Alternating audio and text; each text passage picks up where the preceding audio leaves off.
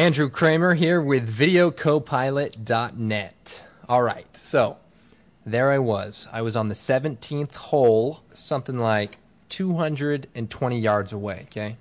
So I'm thinking, I'm going to use my driver. So I take the driver out, okay? Set the ball up a little higher than usual this time. The green is straight ahead and around the corner to the left past all these trees. So what I'm thinking is, I'm going to shoot it over these trees. I'm going to get it on the green, and, you know, I'm going to get a birdie. Par four, okay? Well, it turns out there was a little bit of wind that day, and so I hit the ball, and you know how there's houses on the course sometimes? Well, I hit somebody's house. You'll be happy to know that I hit another ball and just pretended like that wasn't my ball, and you know everything was fine. So anyway, today what we're gonna do is blemish removal. Okay, so what I have is this bride footage, and I'm gonna make a new composition by dragging it out to anywhere, basically.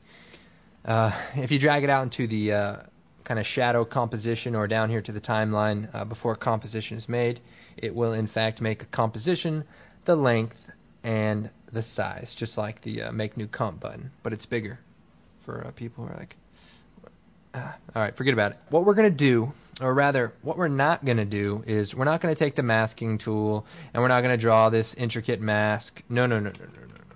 Here's what we're going to do we're going to set up a matte. So I'm going to duplicate the layer, uh, select it, hit Control D, and over in the effects and presets, I'm going to search for threshold.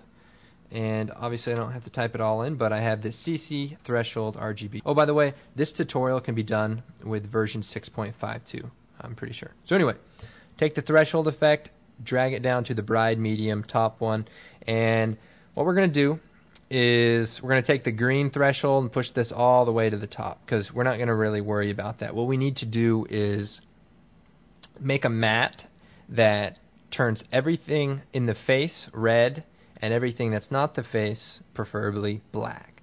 So right about here looks pretty good. I'm going to show you why. All right, I know you guys are getting worried and you're thinking what's going on here. So forget it forget about that for a sec. We're going to get on to it, okay? Oh, by the way, on that hole, uh, my second ball, I actually got it on the green, on the back of the green, and I had three putts to get it in, and I'm happy to say that I uh, I got a par on that on that hole. Anyway, back to it. We're going to select this layer, and we're going to go to Effects, Color Correction, Hue, and Saturation, and we're going to desaturate the picture so that we can use the levels, color correction levels. Notice they're in a new location, which is fine, you know, I don't, you know, works for me. Okay, we're going to boost the whites, uh, the highlights, and basically turn this area white, okay? All this just to get the red to turn to white. I know, I know. All right, we're going to make a new adjustment layer. And for those of you who don't know, an adjustment layer is a layer you apply effects to, and it in turn affects the layers beneath it. So we're actually going to move this layer below our top bride uh, matte layer. And what we're going to do is we're going to change the track matte. And if you hit F4, if it's not up, you can toggle between uh, different switches, which is good. So we're going to change the track matte to Luma matte. Right? And you're saying, okay, hold on, what's going on? I don't know what you're doing. Well, basically, what we're doing is using this matte okay, we're telling this adjustment layer to only affect the pixels represented by this white area. So what does it mean? Well, I will show you. If I use an a levels, if I use a levels adjustment on my adjustment layer with the Luma Matte track selected, it will only affect that area. Check it out. You can also use this method to, you know, uh, color an apple or color correct only a certain area. It's, I mean, it's pretty versatile. Don't just think about blemish removal. Well, for now, think about blemish removal, but just keep an open mind. Okay, that's what it does. Now, let me show you what we're going to do.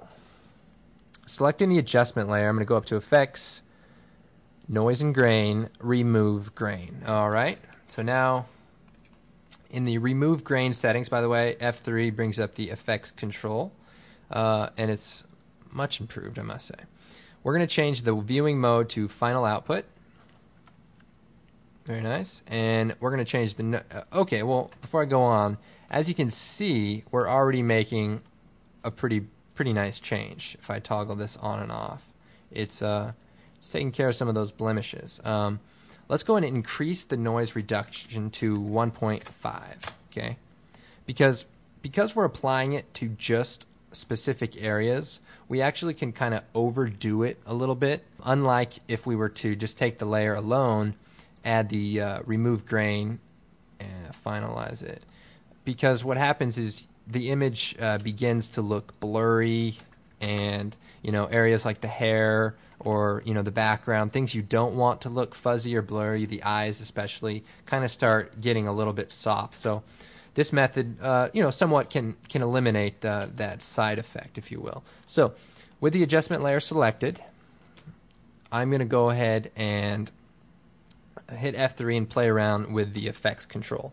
Now, there's another uh, there's another area of the remove grain uh, effect I want to touch on, and that is the temporal filtering basically um, what I gather this temporal filtering does is analyzes the frames before and after and compares them with the current frame. And based on the color from around that frame, it kind of blends the pixels together so you have a, a smoother uh, image, you know, it reduces grain. Uh, what a concept. The motion sensitivity is like how much to look forward and uh, you know, look uh, beyond the current frame. And you want to be careful in that area. We're actually going to put it up to 0.95, and that'll just uh, bring the effect down just a little bit, just because I don't want to. I don't want to overdo it uh, too much. What the heck? We'll go nine two five. Okay. All right. You know, another thing you may want to do is on our matte layer. Here, I'll if you hit enter or return on the uh, keyboard, you can type in a name uh, for the layer. That way we can keep track of it. Um, what I want to do on this layer actually is blur it out. Um, even though the remove grain isn't a very you know strong effect, it's good to blur the matte a little bit so that you don't get sharp edges between you know unfixed areas and you know face areas. Just a good idea. You know, if you notice, the eye is still in sharp focused. Um, we're working with interlaced footage, so don't be alarmed. So if we look at this, I'd say I'd say we're uh, we're looking pretty good. If I compare this, um, it's definitely an improvement. Here, I'm going to go ahead and make a preview. Um, I'm going to just hit uh, the zero key to preview this. Today was my about seventh time golfing. Uh, you know, I'm not trying to make excuses um, but it was really windy and my clubs were dirty, and I don't think I was using a high quality ball. Um, you know, it was cold. Uh, my shirt was kind of tight, so I, I, think I was losing a little something on my swing. But you know, other than that, uh, it went pretty good. Okay, that's pretty good. Let's uh, let's go ahead and preview that. Oh yeah, look at that here. Um, the tilde key. Thanks, John Dickinson hit the zero key again, and we'll preview this, right? I mean, that's, come on, that's, that's some high quality stuff, guys. Now, okay, we have another problem, a slight problem, is we, we zoom in here and we say, well, whoa, what, what's going on here? I mean, we got, we have this area that's all grainy, and then we have, then it's just perfectly smooth right here. It just, something just seems a little weird about it, you know, and you're thinking, well, yeah, look, it's not perfect. I mean, I'm I'm doing my best to just show you a good method here. You know, you have to criticize it. And to that I say, let's add some grain. Now, the cool thing about adding grain to an adjustment layer that is tracked by a matte is that the grain will only add itself to the area that you're being that you're affecting. So in this instance, it's it's perfect. So let's zoom into an area where we have grain and where we have clear. So select the adjustment layer and we're going to go up to the noise and grain, add grain, okay? Got some presets here, but this is like DV footage from like a year ago. Let's just pick one and we'll fix it up. We're going to change the preview to final output. All right. Hey, that looks hey, that looks pretty darn good, right? You're thinking, man, you know, print that to tape. No, here's what we're going to do. We're going to bring the intensity down to 0.25 and we're also going to bring the color because uh, you can see this grain isn't really uh, chromatic like like the grain that's created. We're going to bring this down to say 0.25 also.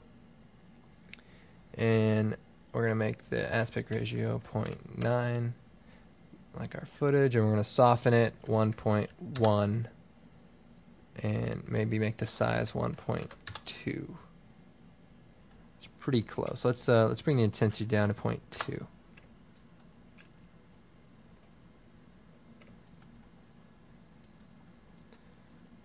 all right so I mean that does a pretty good job of hiding um, you know the the feel of you know really really clean footage so now if we uh, if we toggle this on and off, I'll go and take a snapshot so we can compare it.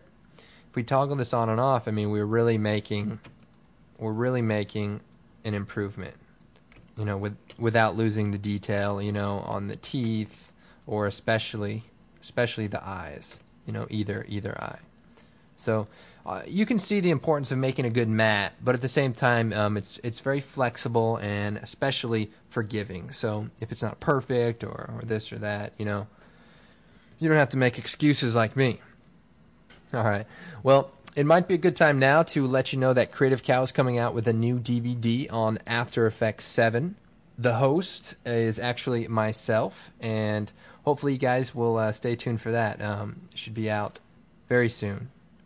Well, thanks for watching, and I hope this tutorial helps you out, uh, especially with the ladies, because I know it's helped me out. Oh, yeah. God, I'm lonely.